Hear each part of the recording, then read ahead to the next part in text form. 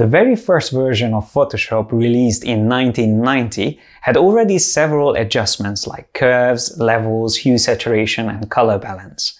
One of the main reasons why Photoshop became so successful and popular is thanks to these features. In this video, I will show you 5 less known but incredibly useful techniques you can do with adjustments.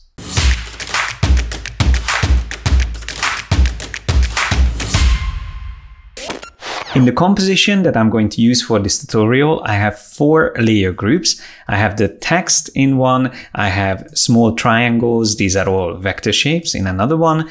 I have some background triangles as well, which I wanted to have behind the image. And then I have the main image itself, which is also broken up into a couple of different layers because I'm using these triangles as holding devices and I am using clipping masks to have the images cropped into the triangles. So for example, if I remove the clipping mask here on the bottom by holding down Alt or Option key on the keyboard and clicking between the two layers, you can see the image will come out of that frame. And when I do it again with the same shortcut, I can clip it back in. The original background of this photo is blue, so it's a quite easy image to work with. There's not much distracting colors in the background. And the first tip I wanted to show you about adjustment layers is a clipping mask technique, but not in the usual way you would see them being used. So just showing you, if I add an adjustment layer, and in this case, just to make sure you can see it, I'm going to use black and white. When I add that in the image and I put it all the way to the top, so on top of everything, then obviously it's going to affect all the layers in my composition. But if I move it further down, let's just say I put it here above the main image, then the small triangles and the title is not affected, so they can stay in color. So that's just the simple basic hierarchy of the layers and how adjustment layers work. But when I move it into one of these clipping groups that I created, let's say place it under this layer, you see it automatically becomes also clipped onto that triangle. We will only see its effect if I also move it above the image. And now we can see that this triangle here in the middle is turned black and white because of this adjustment layer. The cool thing though is that you can also use clipping on adjustment layers and clip them directly onto a full layer group. And this is something you might not be familiar with. So if I place it here just above the main image, and I use Alt or Option click between them, then you will see an underline showing up just underneath the group's name. And that means that now the adjustment layer is clipped onto the whole group. So this is still very useful because it means that the background layer group, which is these few triangles behind it, are still going to be in color and only this selected layer group is affected by the adjustment. There is also another way to limit the effect of an adjustment layer to a layer group. So you can do it with a clipping mask as we've seen it already, or you can place the adjustment into the layer group at the top usually of the layer group. But notice how it is still affecting those two triangles in the background. So these two triangles in the background should be in color but because by default a layer group is set to pass through blend mode, it means whatever adjustment layer you place inside it, it will automatically pass through and affect all the layers or layer groups underneath.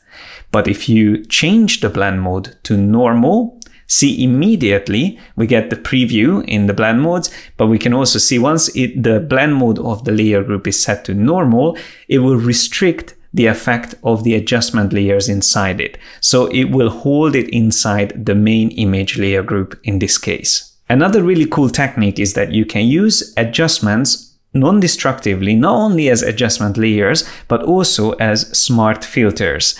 It pretty much does the same thing but it's connected more to the layer itself so instead of introducing another layer, you just use the adjustment as a filter, but it's important that the layer has to be a smart object. So for example, in this case, this center triangle that we have here with the image, you can see the image itself is already a smart object. So that means if I go into image adjustments and use something like hue saturation, which is control or command U, with the shortcut. So once I select that and I start changing the hue around, you can see once I click OK, it will be added as a smart filter. And any of the adjustments available from here, you can use as smart filters, even including things like shadow highlights and HDR toning. So this is just another way of using adjustments non-destructively, again meaning that you can turn them on and off easily from the layers panel and you can also double click on them to make changes to the effect. And what's also cool is that you can double click on this little icon here. So when you use an adjustment as a smart filter, you can even access the blend mode directly for the adjustment or what's in this case is a smart filter. So if I want to use this maybe with overlay, it will again change slightly the effect. But of course, we can go through this list and we can see the various effects that we can achieve. When you want to completely get rid of a smart filter, all you have to do is to just right click and choose delete smart filter. Before we continue, I just wanted to let you know about our creative membership program. For a small monthly fee, you get access to over 200 hours of Adobe certified online training courses Master all the tools and skills needed to become a professional graphic designer or illustrator. As a pro member, you will get mentoring from me and my team, access to webinars, student forum, and creative briefs to help you build an outstanding portfolio. Pro members can also download the project files for all of our YouTube tutorials. Sign up at yesimadesigner.com slash memberships and start your free trial today. And now let's head back to the tutorial. Another technique that a lot of Photoshop users are not aware of is the targeted adjustment tool, which you can find in some of the adjustments. So again, for example, if we add the hue saturation, that's one of a good example where we can find this. Now I placed it all the way on the top of this composition. So whatever I'm going to do will affect the whole composition. And we know that in the properties panel, you can drag left and right to change these values. Unfortunately, you can't just double click on them still to reset them like you would do in Lightroom. I hope they will add that functionality into Photoshop soon, but we are just going to reset it for now with this icon. And what I would like to show you is this tool. So that's the one called targeted adjustment tool.